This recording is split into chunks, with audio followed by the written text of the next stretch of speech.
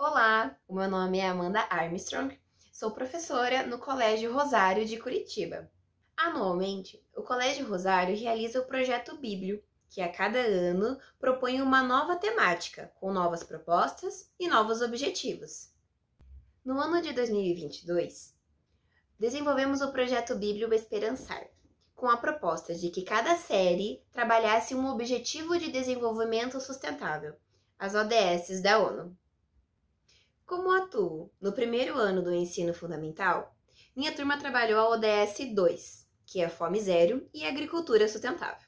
Tema de grande importância para a sociedade e que possui diversos recortes a serem aprofundados.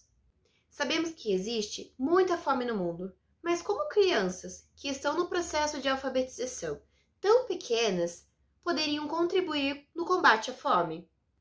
Refletindo sobre essa pergunta, chegamos à conclusão de que se faz necessário as crianças terem conhecimento e compreenderem a importância de um banco de sementes, e de também poder conscientizá-las a terem hábitos de preservação dos grãos e das sementes que elas consomem em casa, para que evitemos o desperdício dos alimentos.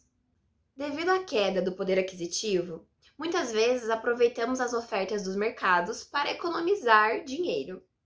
Dessa forma, compramos mais do que necessário para nossa família, fazendo com que os alimentos fiquem por mais tempo armazenados no armário, podendo muitas vezes estragar.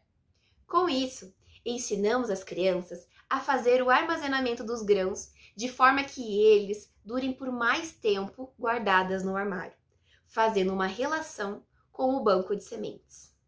Ensinamos as crianças e a nossa comunidade escolar a armazenar os grãos em garrafas PETs e que, feito de maneira correta, os grãos podem durar por muitos anos, sem contar que estaremos trabalhando a reciclagem. Fazendo a relação com o banco de sementes, trabalhamos com as crianças a importância da agricultura familiar, do cuidado com o meio ambiente, como funciona a germinação dos grãos e das sementes e o que aconteceria com o mundo se as sementes e grãos acabassem. E junto com todos esses assuntos abordados, a alfabetização se fez muito presente, trazendo significado para os estudantes, tornando o seu aprendizado mais significativo e muito mais prazeroso. Agradeço o espaço para compartilhar um pouquinho do nosso projeto e que, assim como ele, possamos esperançar cada vez mais longe. Até mais!